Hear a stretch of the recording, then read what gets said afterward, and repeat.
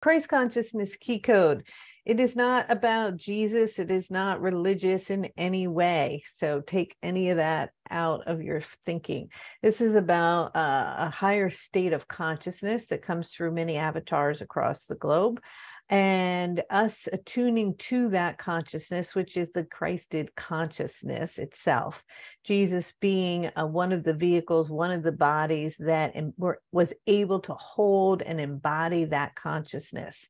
And we, in order to tune into that consciousness, we have to get rid of the thinking mind, the egoic mind, uh, the busy mind, the personality, the part, the thing that we think is us, the I and move back uh, behind the I into awareness to become aware of awareness itself.